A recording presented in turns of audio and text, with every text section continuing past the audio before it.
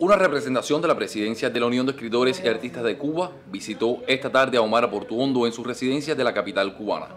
En nombre de la vanguardia artística de nuestro país, el presidente de la UNIAC, Luis Morlote, entregó una obra de la Premio Nacional de Artes Plásticas Lesbia Ben Dumois, creada especialmente para la diva del Buenavista Social Club en su 90 cumpleaños. Omar agradeció el encuentro y compartió con los asistentes experiencias de su carrera artística el orgullo de ser considerada miembro de honor de la UNIAC. Junto al presidente de la Asociación de Músicos de esta organización, Orlando Vistel, interpretó en una velada improvisada temas de nuestra cancionística nacional como gesto de agradecimiento de esta mujer que a sus 90 años de vida continúa aportando a la defensa de los valores de nuestra cultura. Daniel González Cabello, Sistema Informativo de la Televisión Cubana.